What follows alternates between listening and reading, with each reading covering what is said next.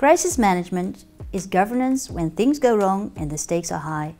Are you interested in how organizations work together in the heat of the moment and how public leaders perform under pressure?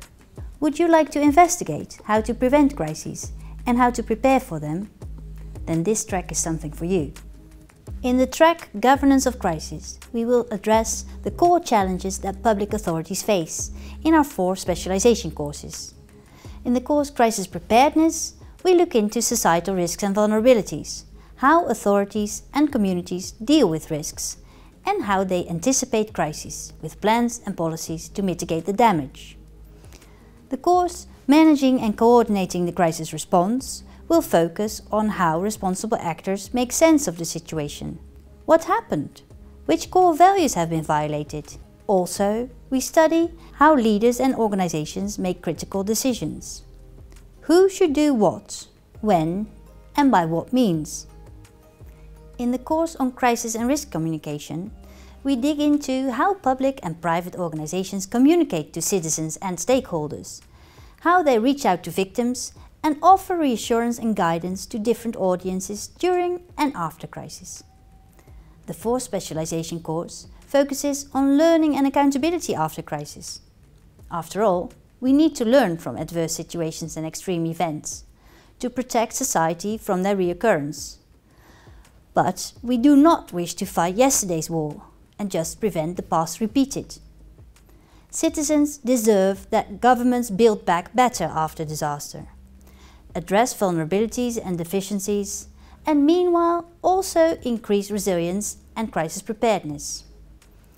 We expect governments to be accountable and responsive to concerns and criticism that is likely to arise after crises and disasters. Research skills are at the heart of each course. In the course Crisis Preparedness, we will focus on data collection. In the course Crisis Response, we will focus on analysis and explanation of actor behavior and organizational performance. In the course Crisis Communication, we will focus on literature review of the existing body of knowledge on the topic. And in the course Learning and Accountability, we will focus on critical review of existing research. Within the Crisis Governance track, we are deeply committed to teach interactively. This active style of teaching also requires something from you, the student. We would like you to be an active participant during the sessions and to take active control of your own learning. In this way, you will learn a lot and have fun while doing so. So, do you think this track is something for you? Have you always wondered why some crises go down in history as mass failures and others as epic heroic landmarks? Why some communities, reputations or organizations recover from crises and others do not? And are you keen on learning more about governance when it matters most?